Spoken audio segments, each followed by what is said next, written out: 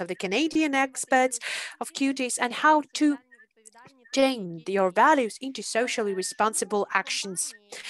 Why the companies that are introducing the certain codes of behavior, they're becoming better than the companies that do not do that, and why ethical behavior will improve the trust and confidence of your supplier and counterpartners, and will engage more producers and will engage the Canadian buyers more. What are the best practices of the socially responsible businesses and how those practices can help small and medium businesses to develop long-lasting business relations with Canadian partners? So we are about to discuss it today. And as a first speaker, I would like to invite Maria Guzman, who is the expert of the apparel market on exporting to Canada and from the exporting Canadian board. She is the consultant for CUTIS. For 20 years already, Maria is helping the producers of different countries from all over the world to start exporting to Canada and to establish a good collaboration with Canadian buyers. She knows everyone and everything on buyers in Canada, the specifics of communications with them, what you need to become successful, and what you should never do in under any circumstances. So please use this opportunity to ask the questions to our experts. And Maria, the floor is yours.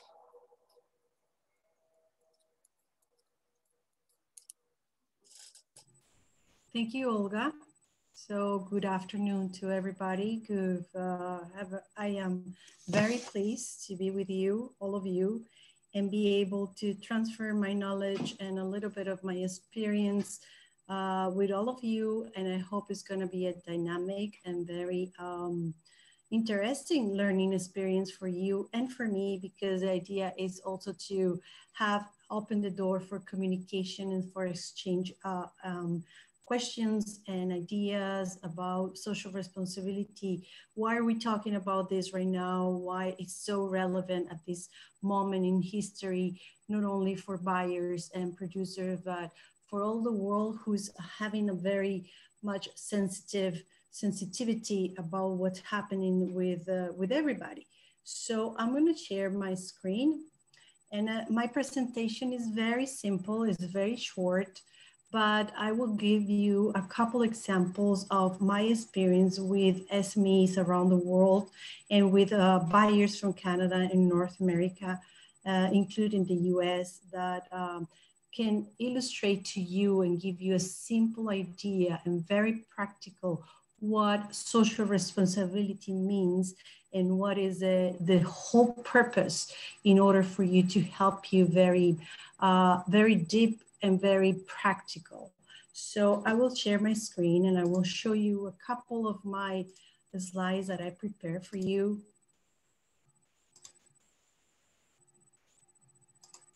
So once again, Thank you. Thank you for being here. It's a pleasure. It's honor. It's early in the morning for us here. I know it's an afternoon for you. So you're very active. I just got my coffee, my water, and my vitamins, and I'm ready to go. So um, all these years working with some of you and basically with the SMEs from Ukraine and around the world, I always give you give them this kind of practical tips practical tips for business. This is business oriented. I'm always into business. I'm always into closing the deal, always in making the money, making the things happen, and all that works if we follow certain rules for um, for business uh, behavior, for product category, for quality, for quantity, for price. So you have a very, a very condensed tips that I always give at the end of my presentations so you to keep in mind that this is gonna be something that is gonna guide you through the business process.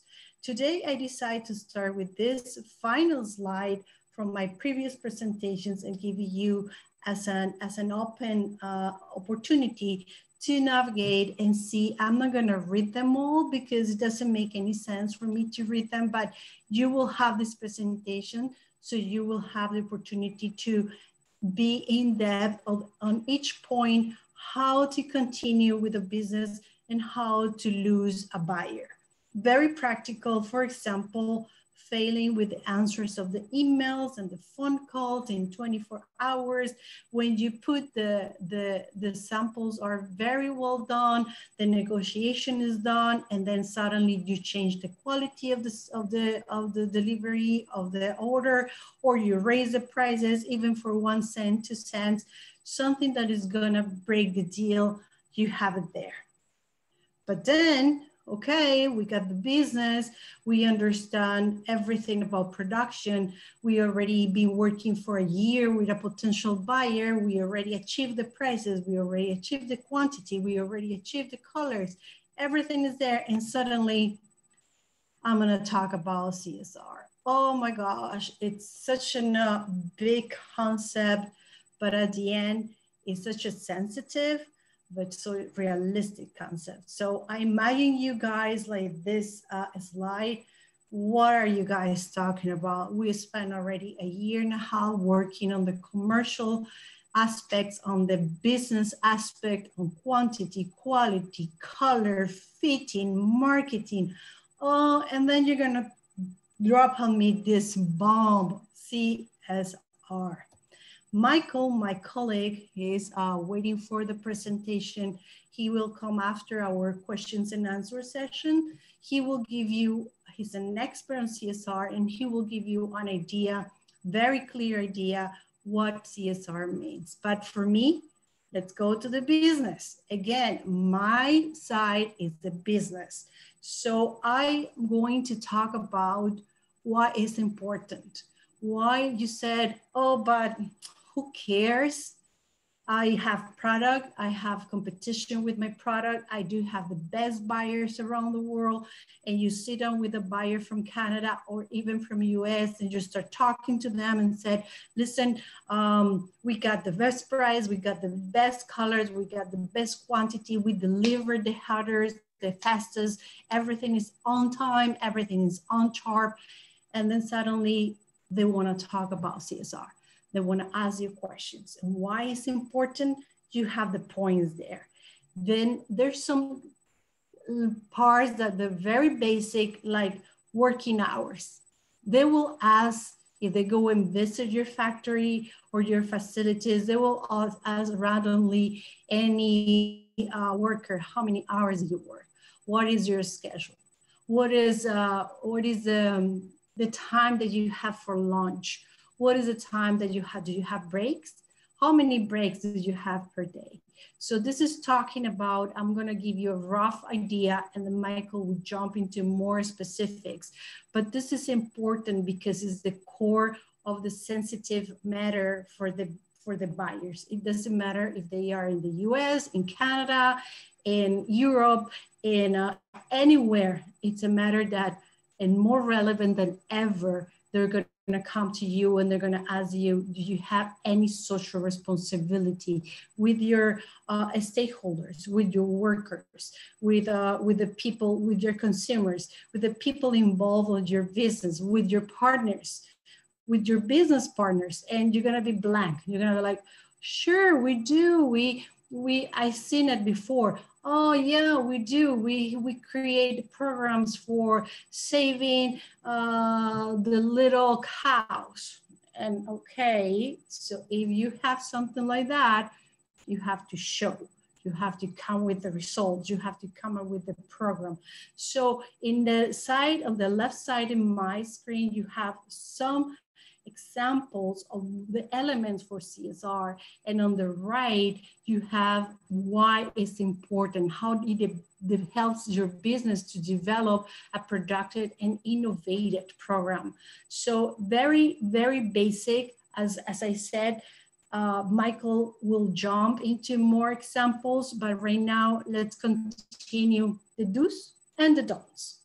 For example, you have to be authentic. You have to, when you create a CSR program, or not even a program, you don't even know what a program is. You are such a petite company that you have no uh, enough um, capacity to create a program for daycare or you know you don't have a, enough capacity to create a csr program for special needs those are very uh, more into corporate CSR, but in a simple way, you decide what it matters for your business. You from the beginning decide that your workers are a priority and you put on place that you decide that every time that you make business with a supplier you're going to check where the suppliers are coming from where are the fabrics coming from? The, the yarn how do they do they process the yarn? It is a natural dye or is a it's a very uh, how it is behaving with the with the supplier into your product with taking care of nature and the environment. You decide as a as a as a company what are your values you decide where is the content or the purpose of your company so you have a very clear understanding when to present your program to the buyers. Let's, I'm gonna give you an example. You already got the appointment with the buyer, either is by Zoom right now, uh, by uh, using our platforms or either in person in the future. And you go and sit down with them. You talk about your company, you talk about the benefits of making business with your company, you talk about the pros, you talk about prices, you talk about quality and quantity. You have everything on the table. But then you just come up and said, and we also have a program for uh, women. We train women in every once per month once per semester. We train the woman to, to be able to how something, develop a something different. Uh, it can be another language. We train the woman in English because we want the woman to succeed. We understand the value of the woman. Women are very important for our company. So see, it's coming from your purpose. It's coming from your mindset. What is the important point in your company? So once you have that, you present that to the buyer and the buyer will look at you and say, really, tell me more about it. And then you have to come up with a, a total idea about your program. Okay, this is what we do. This is what we do for women. Another very clear example that you can present to a buyer is when you talk about environment and said, listen, we have already this amount of products and we treat water in a different way. We used to we used to have the the water um, treating the, the let's see, the denim, which is the most mm, toxic um, material to try to process in the textile and apparel segment. Denim is the worst in order to, to treat them in order to produce a garment. So you said, okay, I'm a denim producer. I produce jeans and jackets and dresses. Okay, how do you treat the water? and they can tell you, well, we do have a new equipment that is gonna treat the denim without any water, without any problem. We just bought this equipment from Germany and we put it in place in our Kiev facility and we're working to the, together with the Germans and the Germans are coming to our facility and they give us a training every six months. We renovate, we have this kind of certificate. Okay, so can we see it? We have certificates, you have to show them. As I said to you before, you claim it, you prove it. You have to show the certificates. Let's see, you don't have the certificates, but you have the equipment because you don't have the money to set up the, the certificates yet, but you have the equipment. You show it, you say it. You have to be generous with your presentations when you have a buyer. It's not only about quantities and quality and price, it's also about social responsibility. So you have to uh, be able to promote your ideas. Buyers are open for innovation. A, they go to one to 150 suppliers per day. They tell me every day, Maria, do you know how many suppliers I have to look into my email? Do you know how many sweaters I see per day? Do you know how many dresses I see per day? What is the value of your company? What is the value that you put on the table? And you said, listen, I understand you have dresses. I do have dresses too. I understand you have cotton. I do have cotton too. I understand you have uh, polyester. I do have this amazing polyester too. However, I also have this uh, program for my for my uh, buyers, or I have this program for my um, workers, and I have this program for my sourcing. So you have to show it, even though it's a simple breakfast, even though you give breakfast to your employees, even though you go in Christmas time to celebrate with the kids in the hospital, something that collects your values and your uh, desire to put uh, something valuable in your company.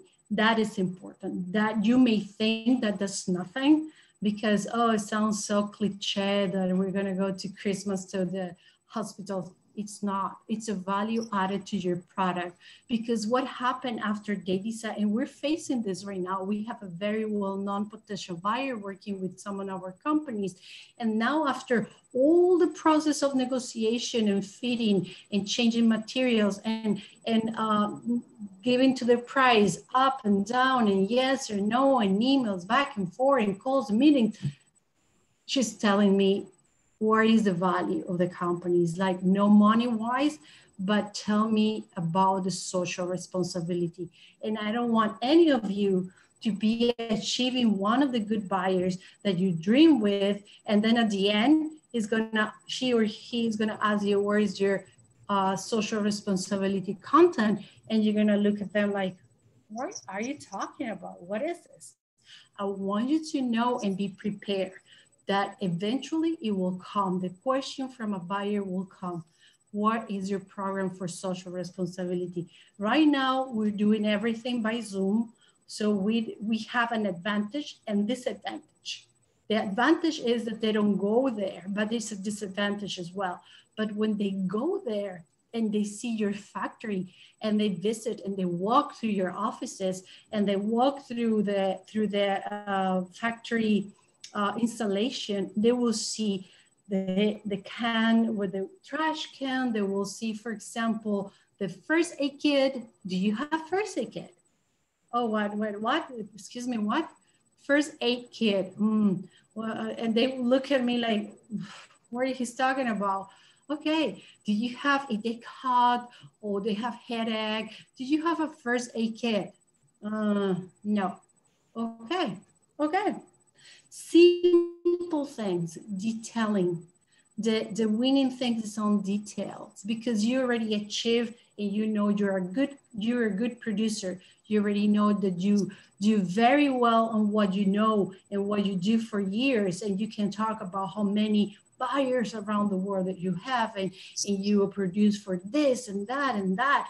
And then suddenly they ask you, did you have first first a kid No. Okay. So you're missing something. So I want you to be aware that little details make a change when they go to you and when they show, they see how you treat your, your employees. So let's go back to the do's. Be confident. Have good communication with your stakeholders. Be respectful. Be confident about what you know and what you do and that, that after the CSR program that we are implementing at this point, be confident about, yes, I have that. Or no, maybe I not. Let me ask Michael, let me ask Maria. Maybe I don't know very well if I am doing this. Is a CSR or is just a program that I just randomly present? So be confident about your knowledge and about your expertise and also about the understanding of the CSR and put your attention in details. I'm going to give you another example that um, it's going to combine with do and don'ts. Uh, details for me and for any buyer are key. It's not only production, it's not only, as I said, the nice fitting, the best supplier, it's also details.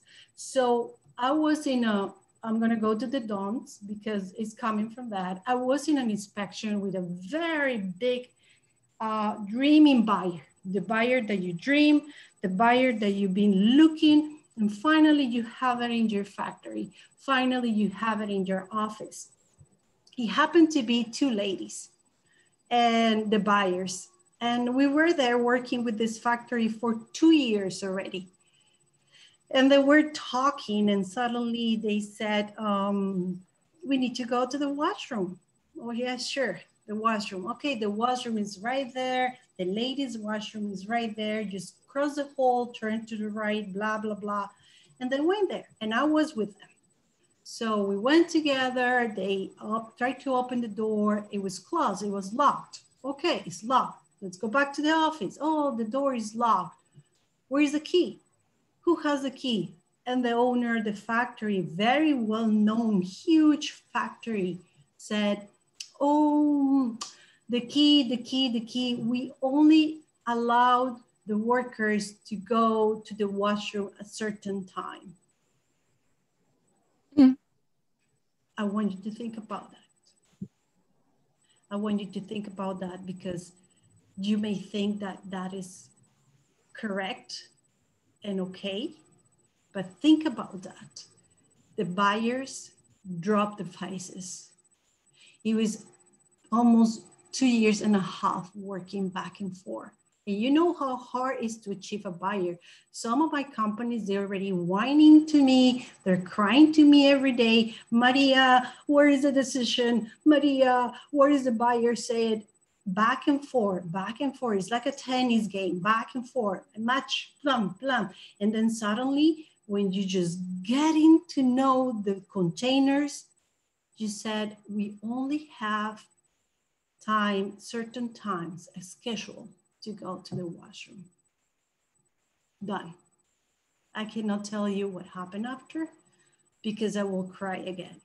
All the job, everything went to the drain. It was impossible in the buyer's mind to think that at this point in life, you have a schedule for the washroom. And on top of that, there were ladies. And on top of that, there was the clothes, the, the washroom lock was the ladies' washroom done, done, done, done. Second example, this is simple ones. You see, it's not like, oh, I have to do this and I have to uh, create a program with the United Nations and we're gonna save the elephants. And I would love to see you doing that. Believe me, I would love you to have a program to save the elephants, but it hasn't had to be that, that specific. You will do it when you claim uh, to become a very um, big company. So another one. We were in another factory again and we were talking and then suddenly it started to rain. Another set of buyers from US. And it started raining, raining, raining, poor raining. It was in a country in Central America and it was poor raining, some tropical rain. And the, suddenly the buyer looked into the window and said, "Is that is those are the bicycles from the from the employees?" Yes, those are the bicycles from the employees. Wow, but it's very sensitive. It goes like, but they don't have anything to cover the the space for the bicycles. What do you mean? What do you mean? The, the owner of the factory turn around and say, What do you mean? Well, I can see your cars and the, all the people who works here, uh, the, the administrative part and you know, the, the business part, they all have cars and they have the garage cover. And I see 150 bicycles outside without any protection. So they were like, what do you want me to do?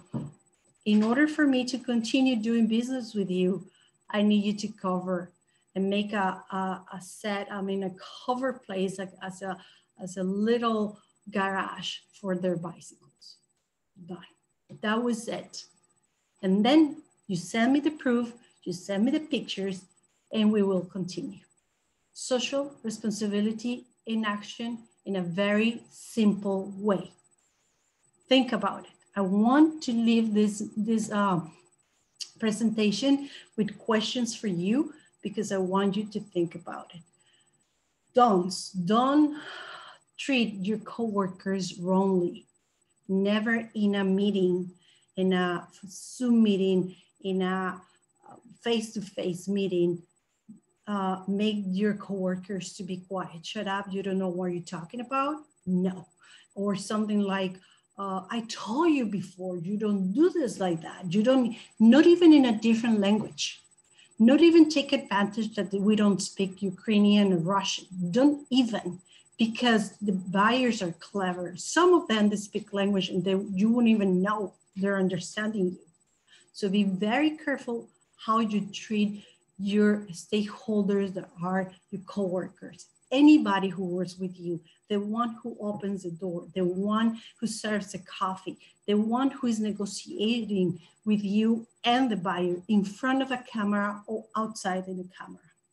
Do not, uh, anybody, anybody that gets, it's a basic um, behavior, common sense of human beings, but we tend to see our workers like, okay, they belong to us and we can treat them however we want. So be careful with that. Don't claim what you don't have or cannot measure. Something that you said, I'm protecting the lions from Africa. Oh, really? How? Well, I just love them. You know, I love lions in Africa. No, it's a, it's a good start, but don't claim that because you're not doing anything for the lions in Africa. You have to come up with a program or you have to come up with some steps.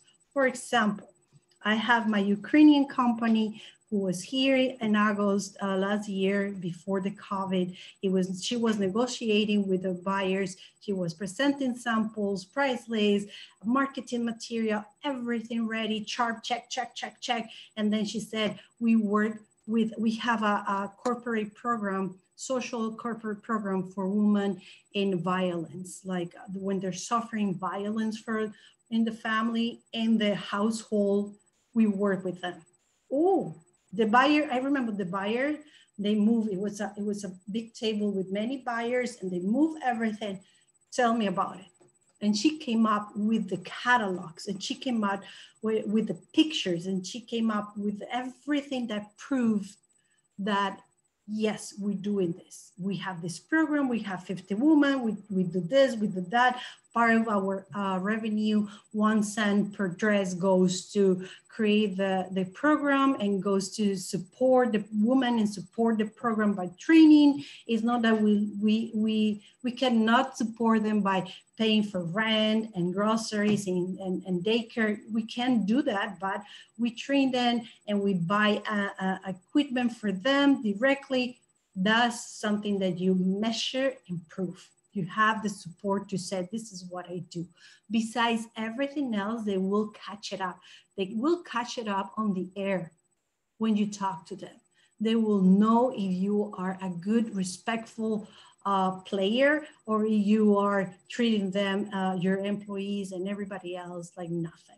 They will get it from the email from the first dear maria they will get it they will get what kind of company you're working with and representing or having.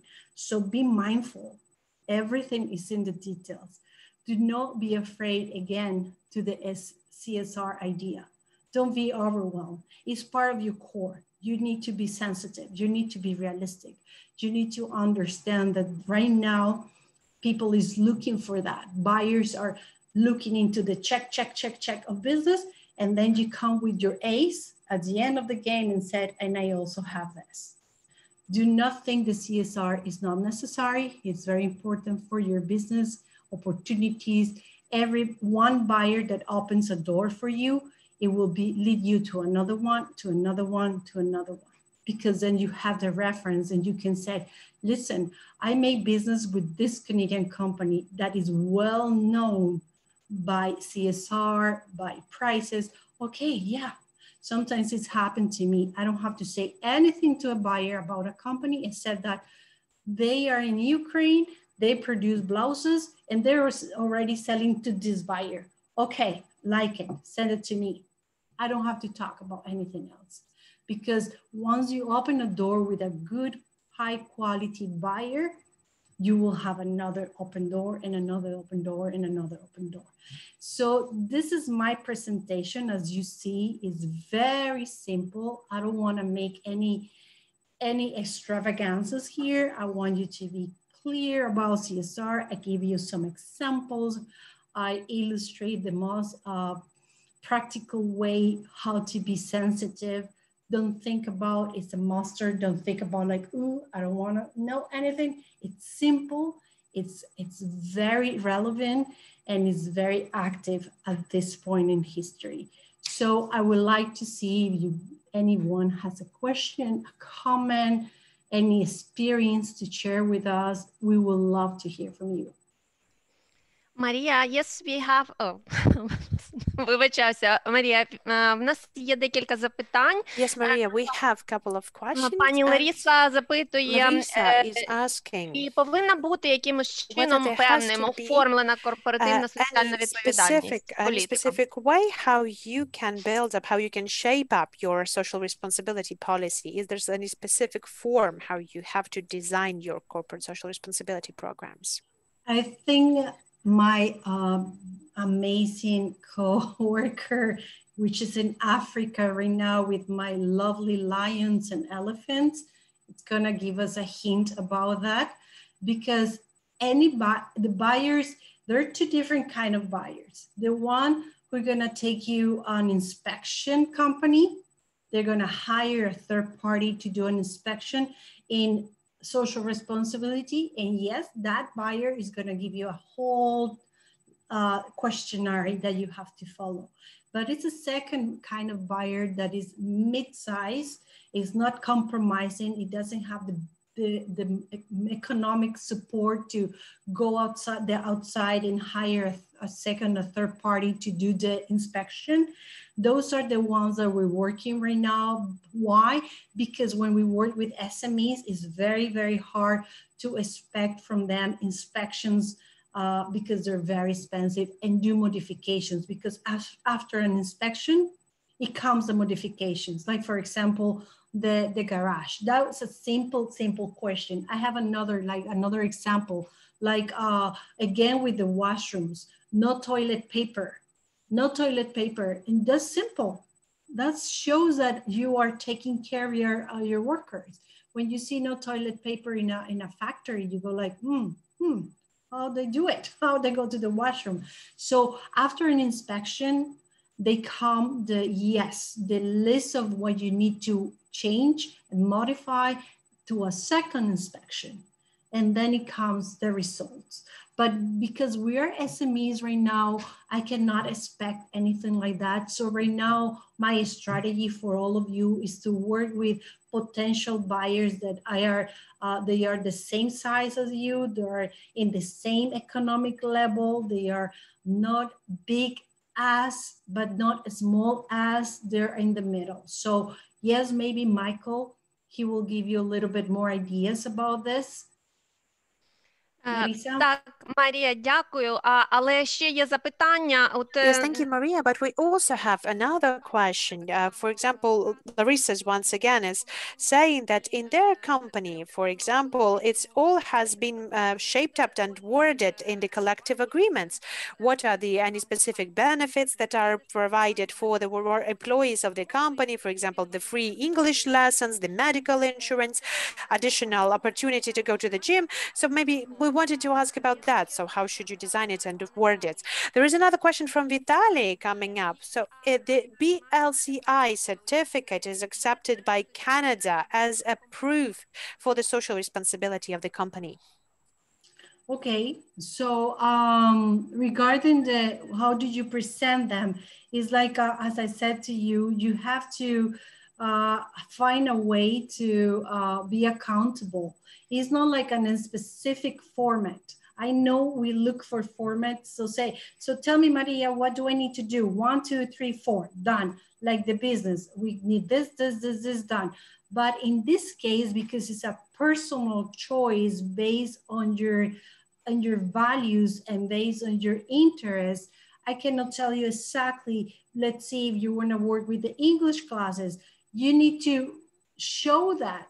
It doesn't mean like you need to have a certification for English classes. It's just like, okay, in my meeting with my buyer, after I talk about my products and my prices, I, I show that I'm sensitive with my CSR program. And I come and said, okay, this is what I also do in order to fulfill your orders. You have to connect the dots. You have to understand that orders come attached to human beings. and odors come attached to environment and odors come attached to gender. So you connect the dots and you said in order for me to produce your dress i'm working with this supplier who is respectful of the environment. It comes together. It's not one or. It comes together. So the line of your core of your values the core of your understanding is very important how you present it regarding the second question uh, about the uh, certificate, I will ask that to Michael because I'm not an expert in certificates for, for uh, social responsibility. But I just want to give you my perception based on my experience with any kind of buyer the good one, the bad one, the big one, the, the little one, the short one, the Asian, the Southeastern Asian, the, the South American buyer, everywhere you go is the same. So they have the sensitivity for social responsibility because they're going to claim it in the product Once they claim it in the product, because that's the distinguished part with your dress and somebody else's dress, it has to be truth. So Michael, um, you wanna... Дякую, дякую, Марія. Марія, ще, ще одне питання. От на, на Yes, thank you, Maria. There is another question Oh. for, for you. In your opinion, when it is the best time for the Ukrainian producer to show the Canadian buyer that the Ukrainian producer has the social corporate responsibility and strategy and the program. In your opinion, what is the best time to show it to the Canadian buyer and what is the best way to show it, to present it? Like sending it to uh, a link with website or any kind of images to do that. In what is the best way to show it to the Canadian buyer to prove it? Okay, a Canadian buyer, it's uh, it's somebody who's working also for business, right? So it comes together. It's either or, no, it comes together. So once I present the company, once I said, who am I? You know, the conversation goes even by email, by Zoom, or personally. This is my name is Maria. My company name is Maria too. I've been in the business for 25 years, blah, blah, blah. My core production is this. This is my price list. This is my uh, catalog. This is my uh, history, and this is my social responsibility. They come together. If you have a program, you show your program. And if you're doing online by, by email, you talk about that at the beginning. You put the social responsibility at the same level as business. Business and social responsibility, they go together because as I said, two years and a half working with a factory ready to produce containers and containers of garments. And one little thing for social responsibility decline and cancel the production and cancel the order. So we don't want to be risky in that part. We want them to know from the beginning, I do have the product, I do have the price, I do have the quality, I do have the production time, and I do have this amazing program or whatever it is on your behalf for social responsibility. They combine together. Why? Because it's value added. So they understand that your product can be 25 cents higher than the one from China or from other place, but 25 cents are going to your social responsibility program. They combine together. It's, a, it's very, like it depends of the buyers. Some buyers are more sensitive, but right now, because it's, it's, it's very, a very important topic, every buyer is aligned. Unless they are buyers who have only one boutique and they don't have the budget to uh, work with you and you don't have the time because your uh, your producer your production is very big. So goes together. Don't wait until the last moment that's what i said at the beginning, I present you the business part and I said, okay, now you're throwing me the CSR. Yes, you coming together hand by hand. One depends on the other one because doesn't matter how beautiful your product is. And I remember I told you the story about uh, Joe Fresh. Joe Fresh, a well-known company, buyers from Canada, and they are around the world. And Joe Fresh was buying from a specific place in Bangladesh. And one day we saw the news that it was a factory a building, an old building on fire. Everybody died. It was a, it was a disaster. And then the, the news came three days later that Joe Fresh was producing in that factory.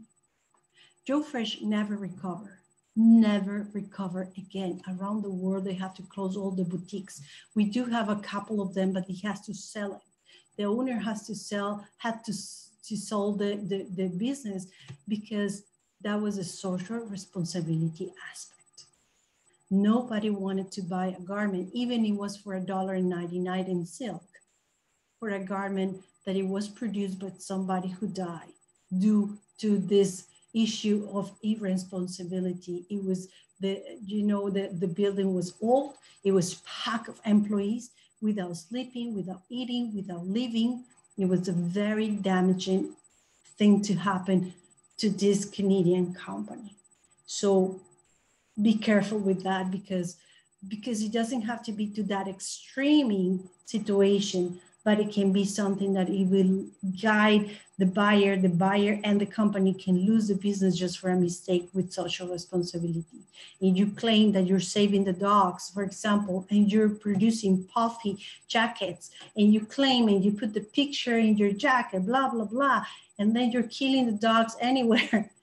It's gonna be like a disaster for the buyer and for you, but but but believe me, it's going to close the door for your country. Nobody's going to make business with Ukraine anymore because one company reflects the behavior of the other ones.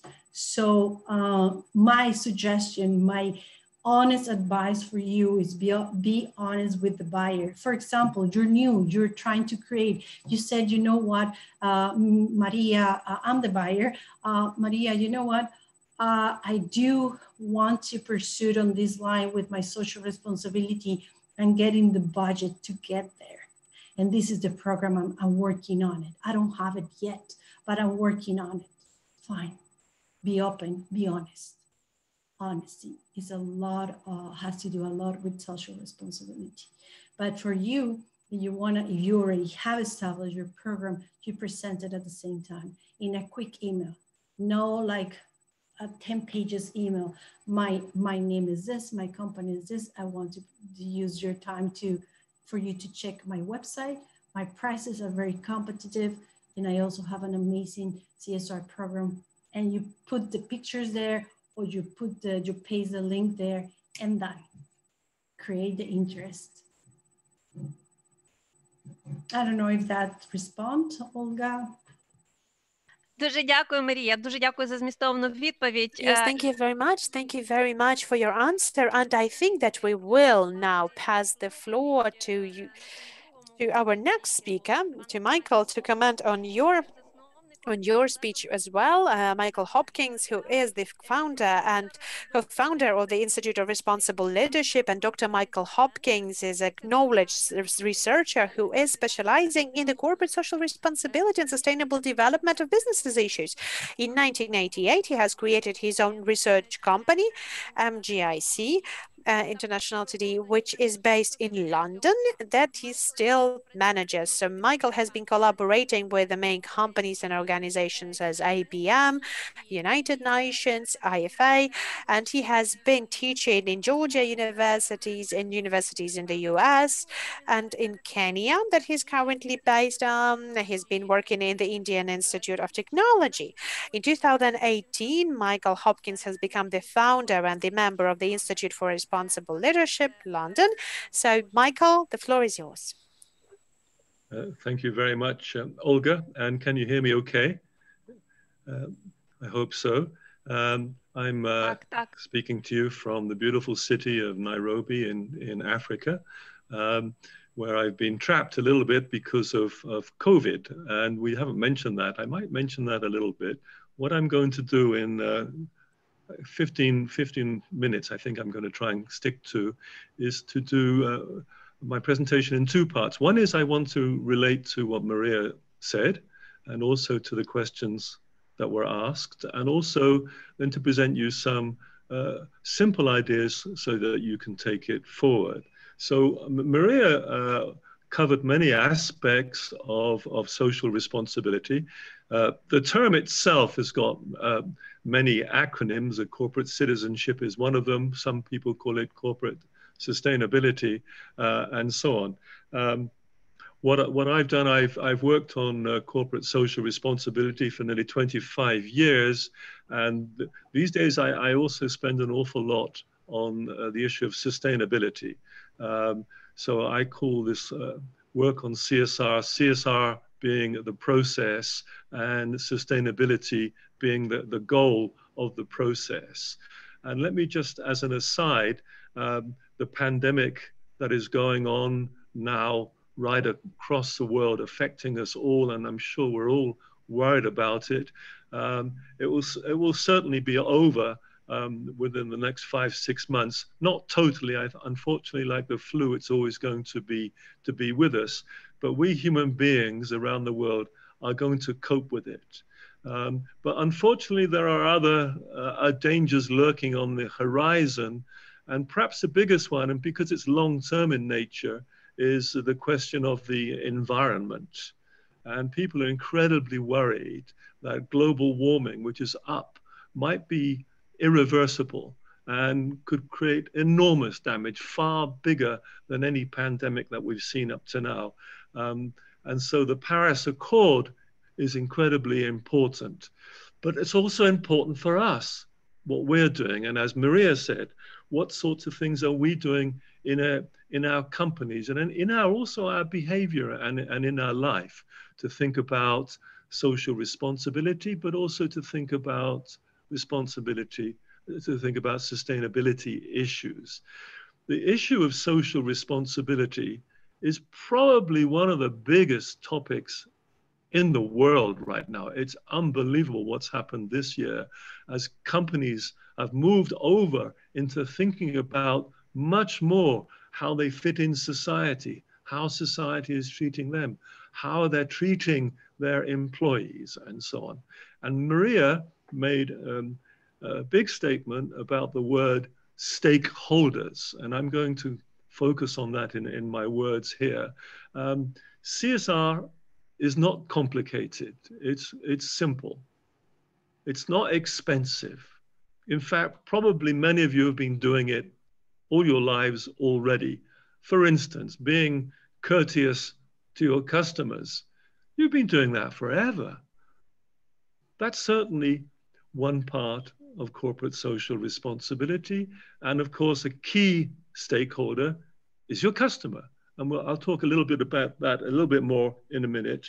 Um, let me just pick up again on, on, on Maria when she talk, spoke about uh, stakeholders, she also spoke about um, the different sectors. She, she focused mainly on the apparel sector. Um, and you could well ask, is social responsibility different across sectors? Well, certainly it is. Mean, if you're working in the agricultural industry or producing uh, food products, it's going to be very different. Your collection of things that you'll be doing on social responsibility than if you're in the service sector or in the uh, technology sector or in the social media sector. So the service sector is going to be very, very different from agriculture and also from the apparel, apparel sector. Um, Maria also mentioned a number of things not to do, and I think two things that came out to me of her speech. One was don't bluff. Be honest. Dialogue with the people that you're working with. We're not all perfect. None of us is perfect. We try. And if people know that you're trying to do things, you're halfway there. I'm sure that that rings with all of you. Uh, my brother always says that perfection is paralysis.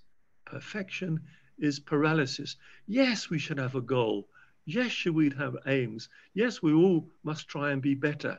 But none of us is going to be really, really perfect. Let's try and move towards that. And if our customers know that we're trying, even in difficult circumstances, then they're going to be very impressed. And of course, customers and the ones we're talking about today, the customers in, in Canada, um, are seriously interested in social responsibility. And most of the concerns are obvious.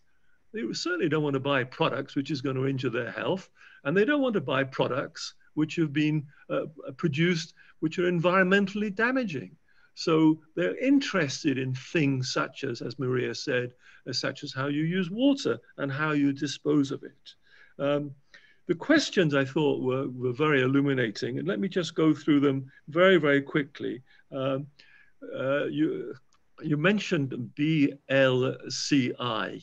Um, I looked it up actually on the internet, and I couldn't actually find it. It, it came, uh, but don't worry about that. In fact, the problem with certification is that there are so many, and then when there are so many, what what you go for? The the big one in the room is ISO, um, in, in the International Standard for Organizations, and it's called ISO 26000. Um, but it's mainly for larger companies or medium-sized companies, not so much for, for small companies. In fact, I've mentioned in the in the chat room that if you go onto my website, you can see a checklist of things which I call HCSRM, in fact, the Hopkins CSR model, and it's on the website CSRFI, csrfi.com. Uh, again, I put that, it's the first line of the, of, of the chat room, and, and you might want to go and, and look at that. Um, in terms of certification, you could get very, very confused very, very quickly because you've probably heard about SDGs, you've probably heard about the UN Global Compacts. Uh, one of the biggest organizations is the Global Reporting Initiative that very big companies try and follow, not so well. So I think, and I'm going to suggest a little methodology when I get to my slides, which is basically base yourself on stakeholder responsibility. And don't worry that social responsibility is a, a, an expensive cost. And when should you do it? Basically, all the time. Never give up. It's always with you. And as I think you're realizing as you're listening.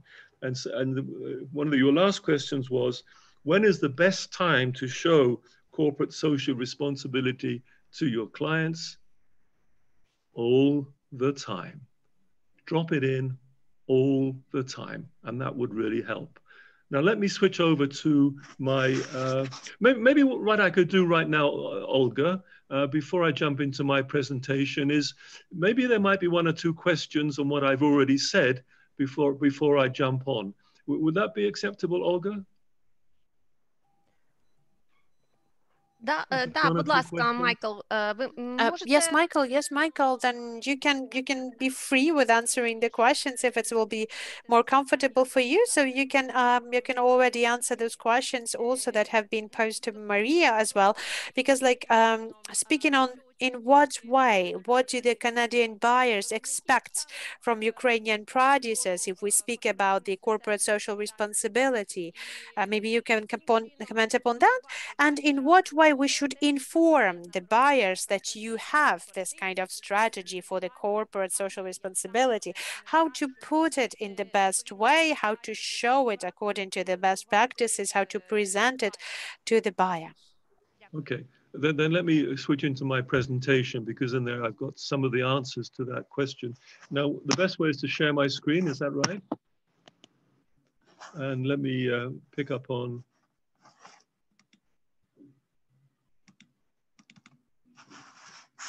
Okay. Um, just a sec. I hope everybody can see this. Let me just go to the beginning. Uh, so very quickly, um, talking about corporate social responsible standards and, and best examples, um, especially in the fast moving consumer goods sectors in, in North America. Um, these are uh, six questions which uh, Maria uh, covered very briefly, and let me let me go through through um, each of them very very very quickly because they do cover the questions that were answered. Um, let me go. So, but before I start, and, and, and I've said many times, and I did in my, the last Zoom seminar that I did, was that CSR is treating key stakeholders responsibly. Corporate social responsibility is treating key stakeholders responsibly. very easy to say. And in fact, I say to all my students and business colleagues and people that I meet, just remember that responsibility. Now you would ask me, what do you mean by treating? How do we go about it? What do you mean by key stakeholders? How do we choose them? Well, who are our stakeholders? And then what do we mean by, by responsibly? Uh, well, I'm sorry to say that this book of 500 pages uh, does cover those issues. But anyway, if you go, you can actually find that for free on ResearchGate. Let me move on to the next one. So my, the first question, if I am a Ukrainian supplier, how do I make buyers aware that I am implementing CSR standards? Well, what I did was I, I, I looked around and I came across um, Nordstrom. Nordstrom is a big multinational uh, um, clothes manufacturer uh, based in, uh, well, right across the world. I'm sure you've heard of it, but it's based in Seattle, of all places, in, uh, in the United States. And um, I, have worked out a video of only a few minutes, which gives you an idea of how Nordstrom handles CSR in the apparel sector. Now, um, I'm not going to show the video because it, technically it's a little bit difficult, but if you look in the chat room, uh, the uh, reference to the, the website where the video can be found, which is on the CSR page of Nordstrom, which will give you a lot of uh, uh, replies to some of the questions that you've asked. And then maybe, maybe after you've looked at that, maybe you'll be interested to make your own video. It's incredibly easy these days to do these things. I've been making videos, actually, if you look at my website, csrfi.com, I've been making vid videos for the last 10 years, and it's fairly simple. You can do it very simply with a simple camera like this one quite a good one. This didn't cost me too much, a couple of hundred dollars, I think. Well, for a company, uh, it's possible, and you and you can make beautiful videos for for that. So that would be good, and and to put that on your website or even show that to to your customers and your suppliers and your uh, your customers. I'm sorry. Um, this is Nordstrom, and if you go onto their website, you can see this. Um, uh, picture and the, the video, and it will tell you a little bit about what Nordstrom does. Let me just briefly say what you would find, because you know what are the main factors that buyers look for in potent suppliers? And Nordstrom says, essentially, whatever you do, leave it better than you found it.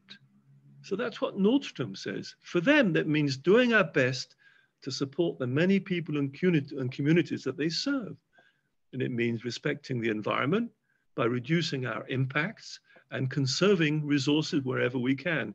So Maria covered most of those things, but this is what the very big companies are doing. Again, if you look at the Nordstrom website, it will give you lots of ideas. I'm not going to go into great, great detail on all that.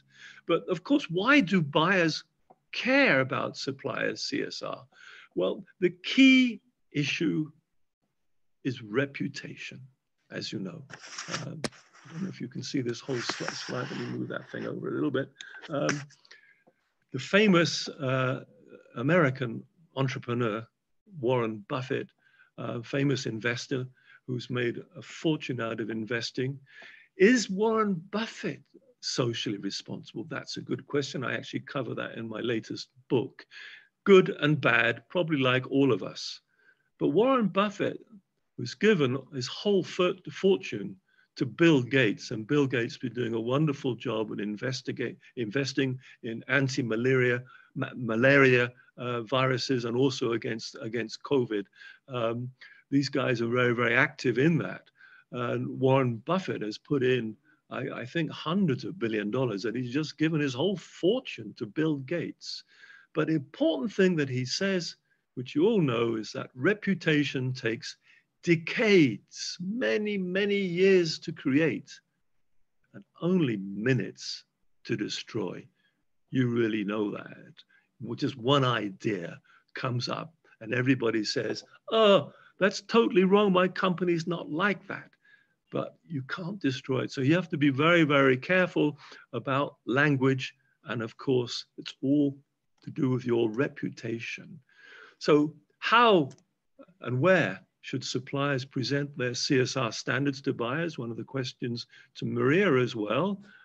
Simply always be prepared. It's going to come up continually.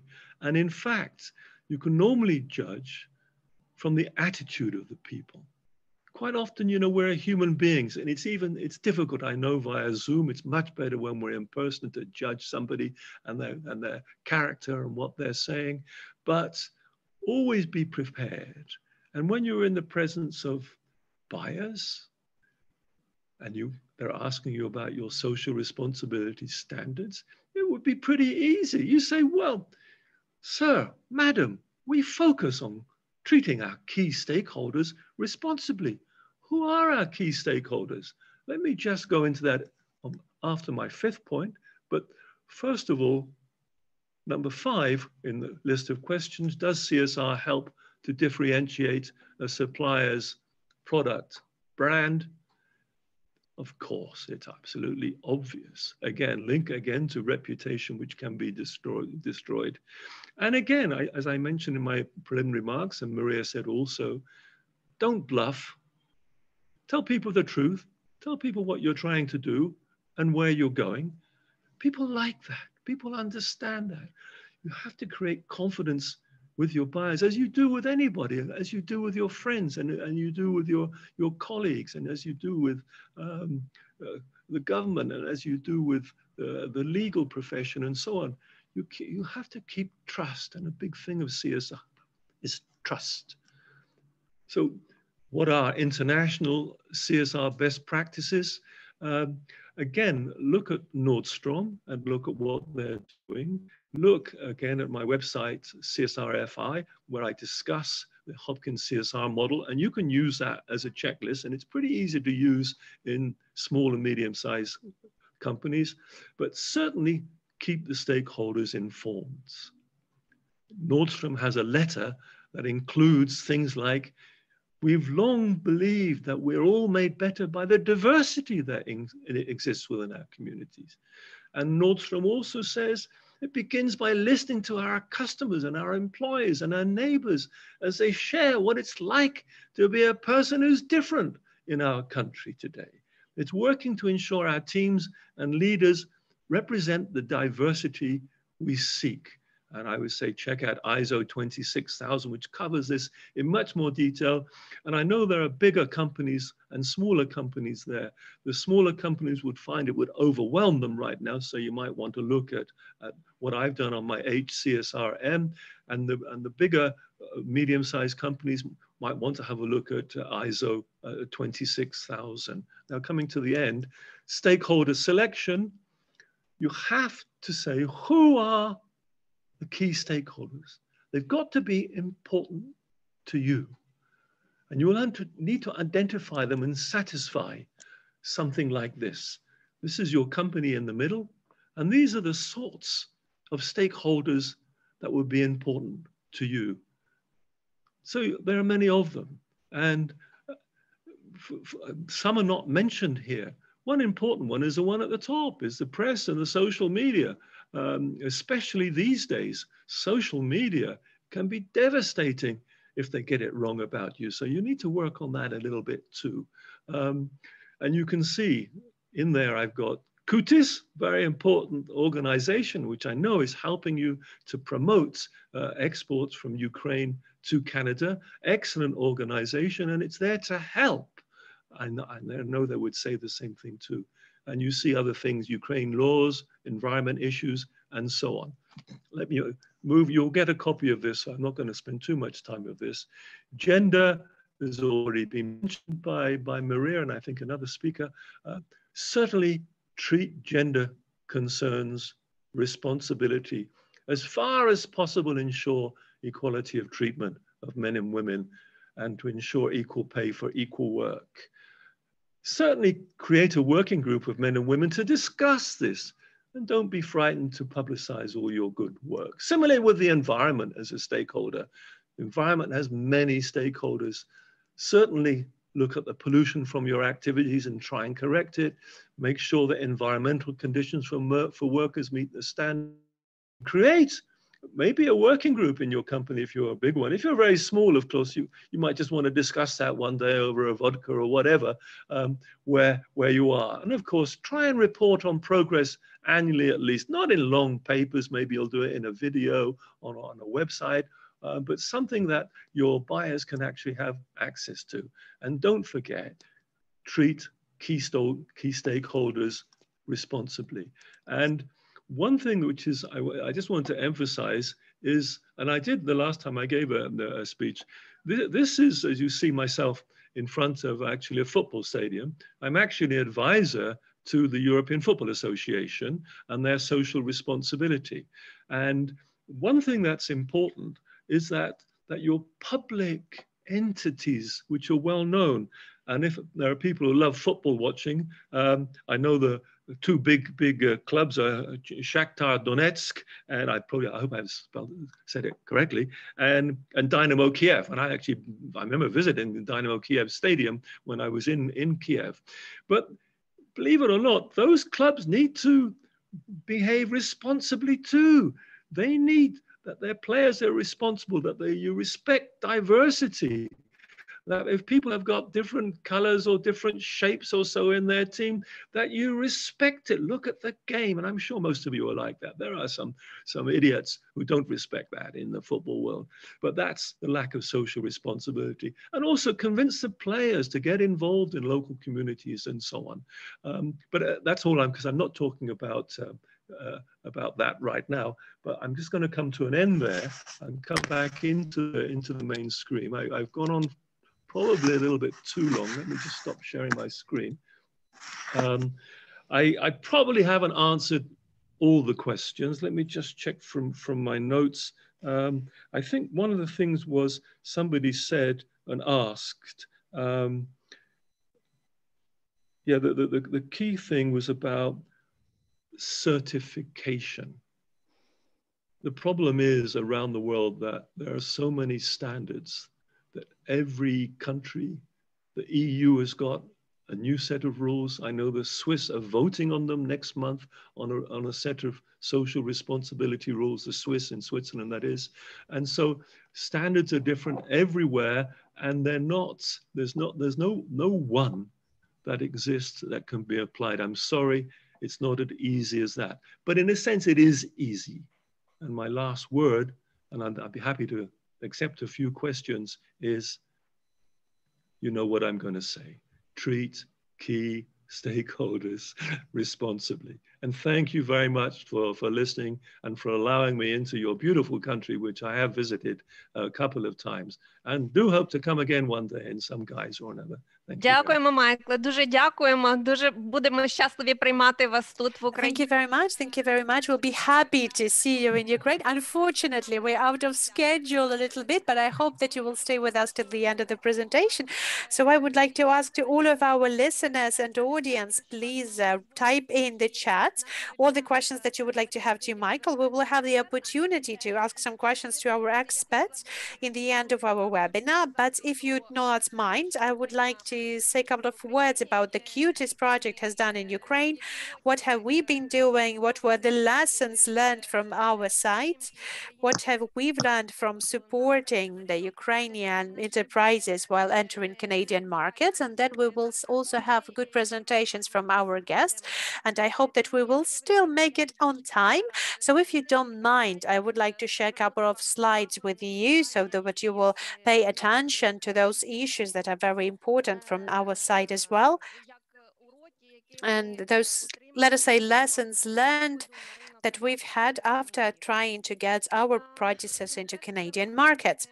So first of all, what I wanted to outline and I wanted to emphasize for you is that there's basically, we have to understand the differences in the business cultures, in Canadian business culture and Ukrainian business culture. The most important thing that that's is outstanding for Canadian businesses is the respect to all of their opinions and those are the values. Those are the values that are going to regulate the Canadian business culture. The Canadian workspace culture is first of all about the skills of good communication and listening to all of the points of view and the communication with other people, the ability to communicate with your colleagues and your managers and to understand the huge variety of the cultural approaches in the working places.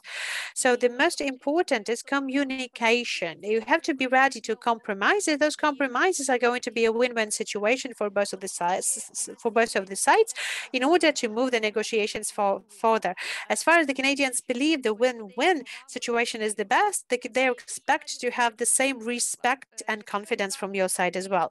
What is considered rude? If you will say that you will come up at three o'clock and the person is expecting for you to be at three o'clock sharp, even if you're going to say it's only in the virtual, if you will be late for more than 15 minutes is a very rude violation and you will at least need an explanation or an explanation to that. And if you will have that, if you will have no excuse or explanation, it can be considered as an offense it's the mentality, the, the business mentality, the business culture is different all over Canada, depending on the region, as well as the business structures are very different. So before you go into visit Canada or before you meet the, your possible buyer, you have to make some home task. You have to do some research about the contact information or the re region where you're going to be working with.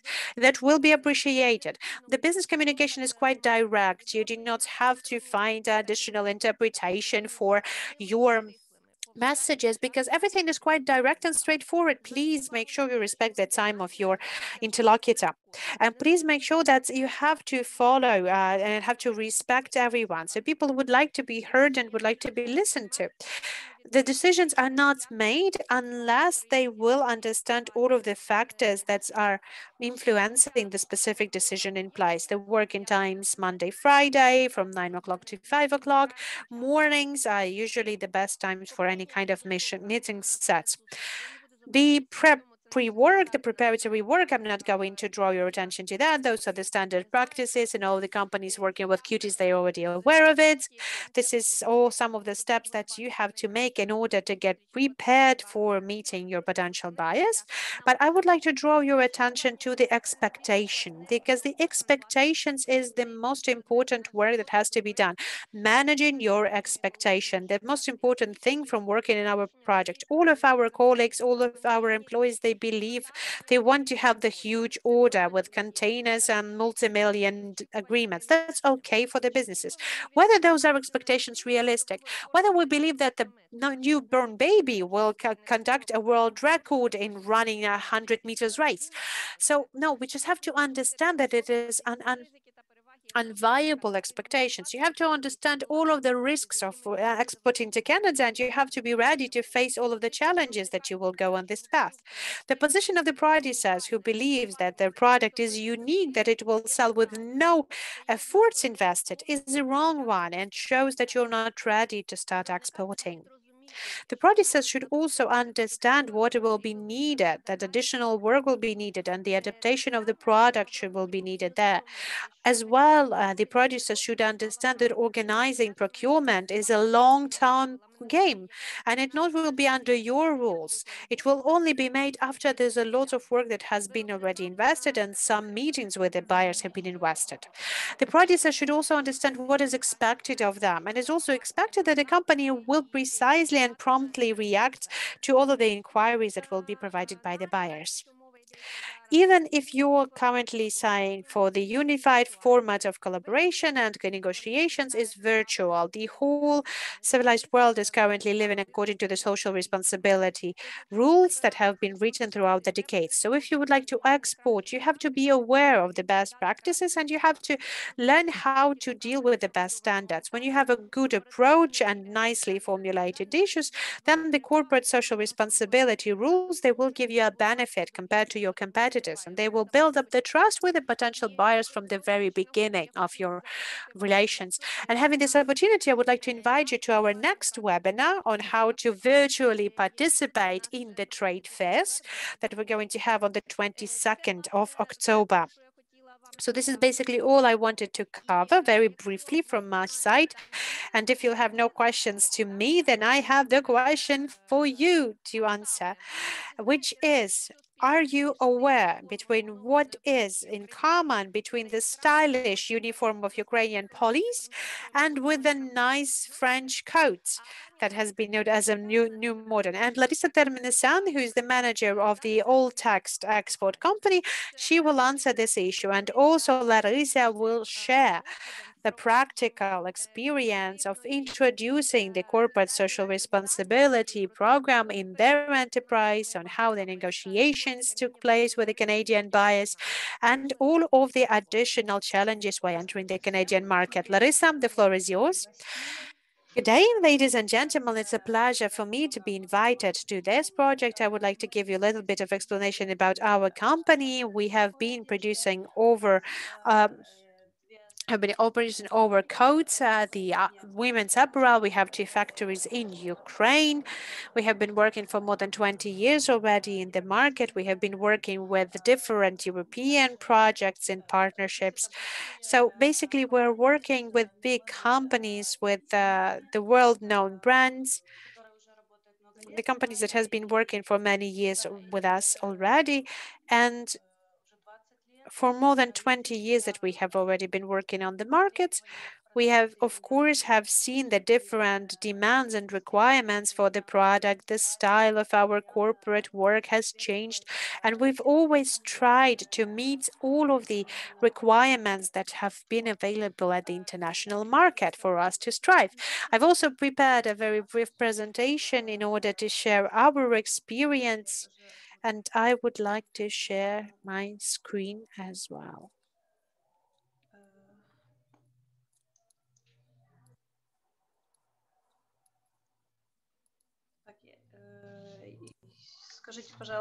Can you please tell us, can you see that? Can you see the presentation? You can see the screen? Yes, yes, we can see the screen. So I would like to start with saying that in the recent years, the sustainability definition has become a very important um, definition, a mainstream for everyone. And for a couple of years ago, it was something unclear for us. We didn't know what is it about. It was something new. And for us as a producer, it was very important to understand what is our role in overall sustainable development. And for the buyers, as for uh, as well as for the aware consumers and customers, it is very important to understand all of the supply chain for your product, how your product is created, starting from the origins of the yarn and ending up with the final product being delivered to the shop. And every brand that respects itself, they have to know this information from your suppliers to know where and, and under which conditions your product is being created, the product that you present in your shops. Thus, the most important and key factors for us, for our side, is about transparency. So the full confidence between the supplier, between the client, and between the company that buys the final product.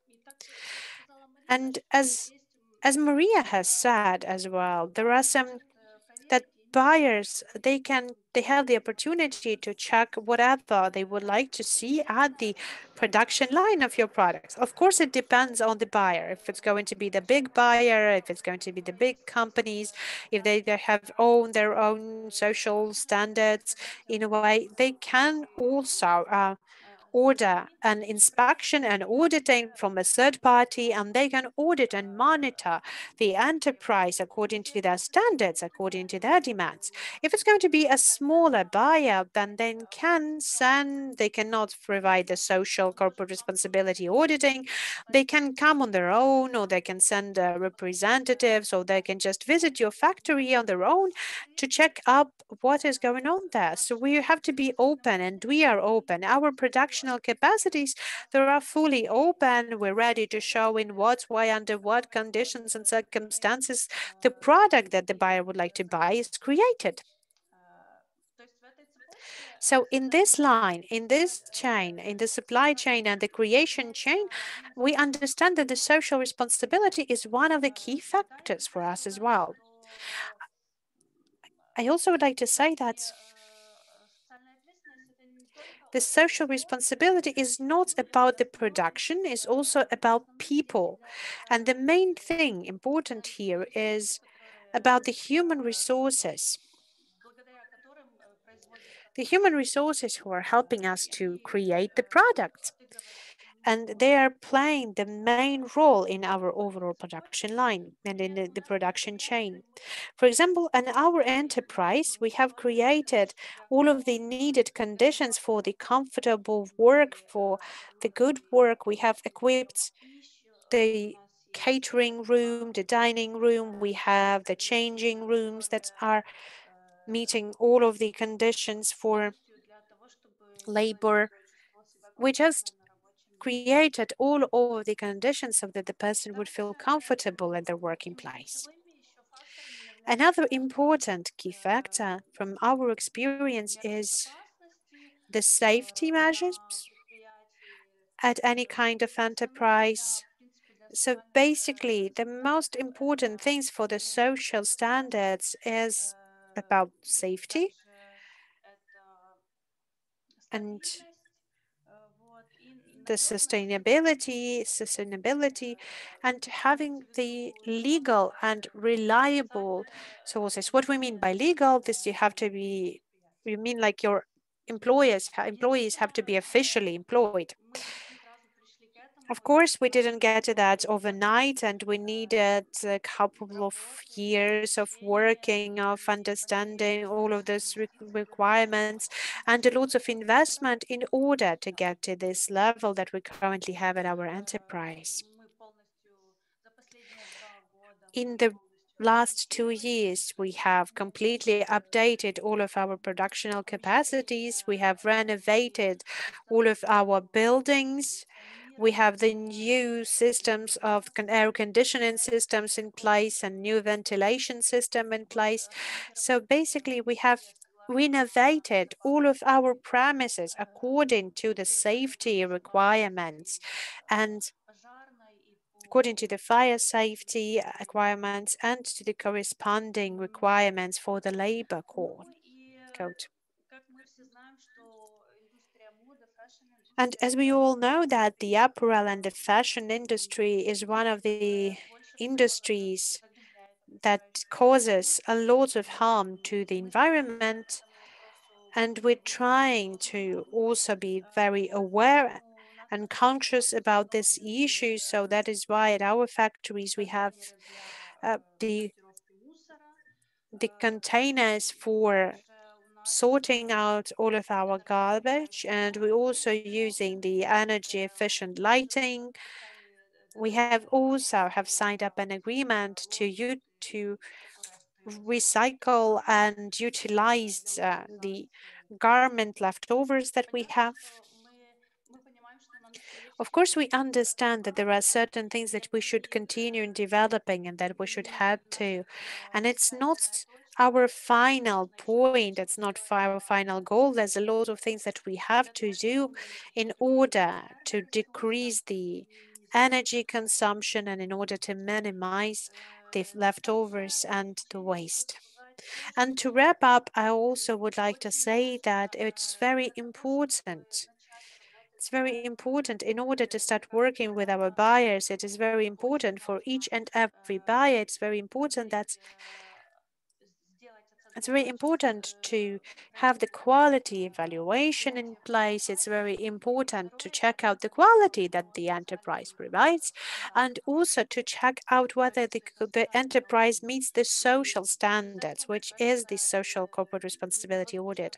I do believe that it's not important to get to the better and higher level for your production, for your factory, and it's not possible to get to the international level and start working with the renowned buyers. Thank you very much, Larissa. We have a question to you. Uh, in what way in what way the COVID-19 pandemic has influenced the work of your enterprise and how have you reacted to the certain limitations that this pandemic has caused to all of us? Well, yes, I really wanted to say that uh, COVID-19, it also has influenced us as well. And we haven't closed, we haven't stopped the work of our enterprise uh, for not a single day, even though lots of enterprises have been closed down. We really tried to work uh, according to all of the security and safety measures, and we've started to produce masks, safety masks, not only for Ukraine, but as for European clients as well. For our employers, we have provided them with masks when it was really hard to get the safety masks in, in, in the drugstores. So we have provided them for free in the offices and the print out our production line. We have both the sanitizers and we have provided all of the needed security and all of the needed, all of this needed disinfection have been provided to all of the additional premises we worked. We have additional opportunity to get our people to work. So we have had the transportation from there for them organized under these uncertain conditions. So I might say that yes, that was a very complicated and challenging period for all of us, but maybe it has even helped us to understand how we can work under more complex circumstances and has given us the opportunity to rethink and review of what is our further-on development should be like. Thank you very much. And, and to give us understanding of what are our opportunities. Yes, thank you very much. There is a stimulating effect to coronavirus. Uh, thank you very much because uh, because like if we'll have any additional questions, then thank you very much that you will still stay with us. So please let us know in the chat box if you'll have any questions. But I would like to once again remind you that unfortunately the CUTIS project has been built as a five-year initiative of the Canadian government, and it will wrap up its work this year. And the organization that will continue in the, the development of business relations between Ukraine and Canada will further on be CUCC, the Canada-Ukraine Commercial Chamber, and the CUCC history has started in 1992 when the group of Canadian businessmen of Ukrainian origins have decided to help Ukraine to reform the economics. And currently now the chamber has already accounts for more than 250 members from all of the countries, from both the countries, and is now the center of the economical development of relations between Ukraine and Canada. But I think that I will better pass the floor to my colleagues in the project, the project manager in CUTIS and the acting director of the Canadian Canada Ukraine uh, Commercial Chamber, Emma Turos. Emma, are you with us? Can you please, because of you here? Yes, thank you very much. Olga, thank you very much. I'm pleased to welcome Maria and Michael and all of the participants that we currently have. And I can see a lot of friendly faces here. If I may, I will also like to show our logo a little bit, but I know we're already uh, off of the schedule, so I will just give a, just a couple of words.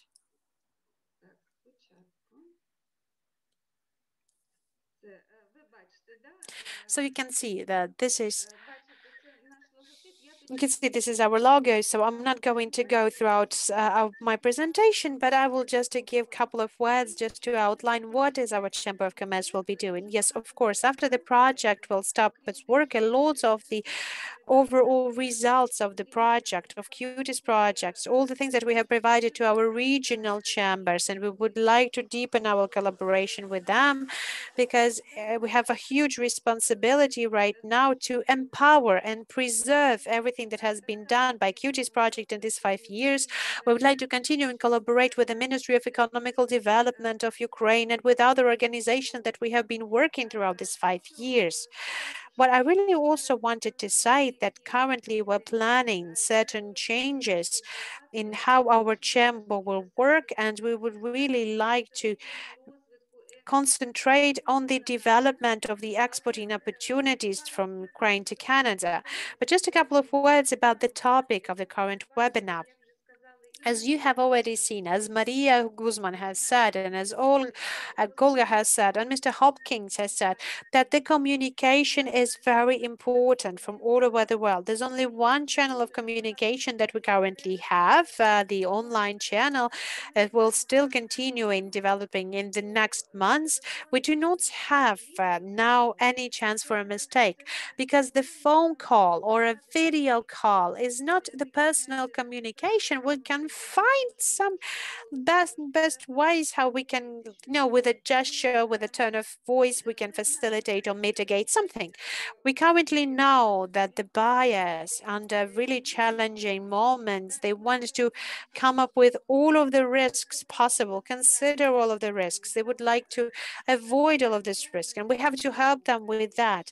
So basically, with the corporate social responsibility, with how the product is being made, it will mitigate the risks for our stakeholders and for our buyers and for our employees as well. And our customers, our clients, they want to have all of the benefits available from the product. It may be not the profit, but it also will be like the services, the time for communication that is saved and preserving their efforts and time. And I would also like to say what is very important for all of us in this case, what we should draw our attention to.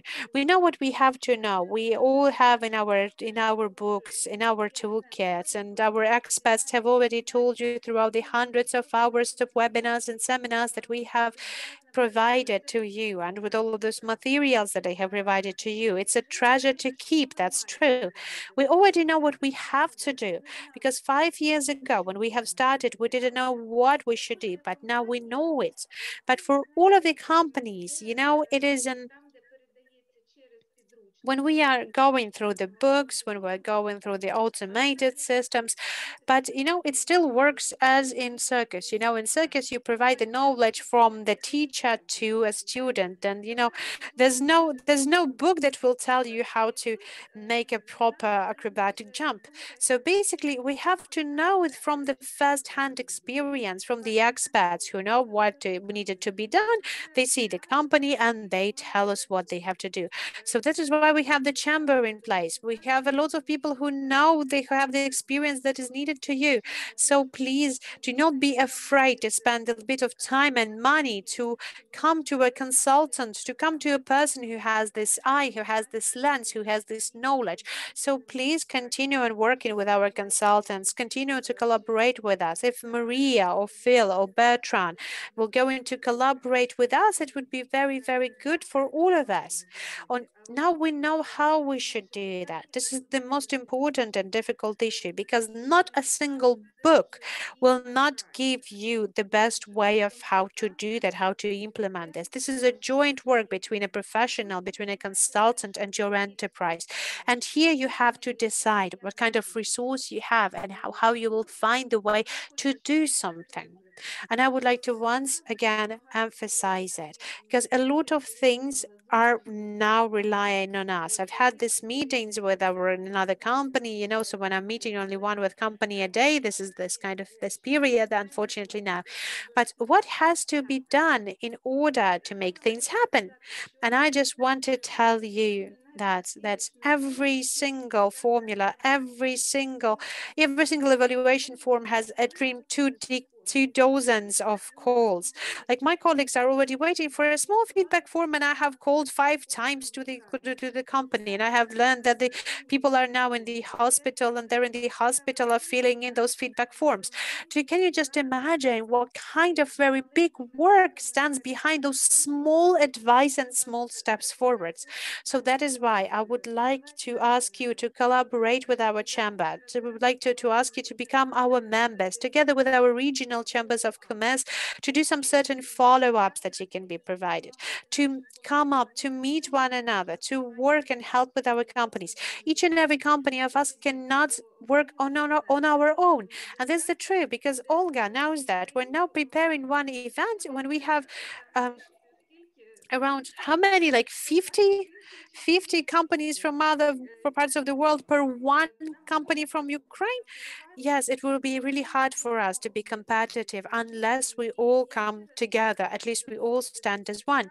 So I would like to once again uh, invite you to the further collaboration with us and to continue in the work that the, the project has started and it has been a great success for all of us. Thank you very much for your attention.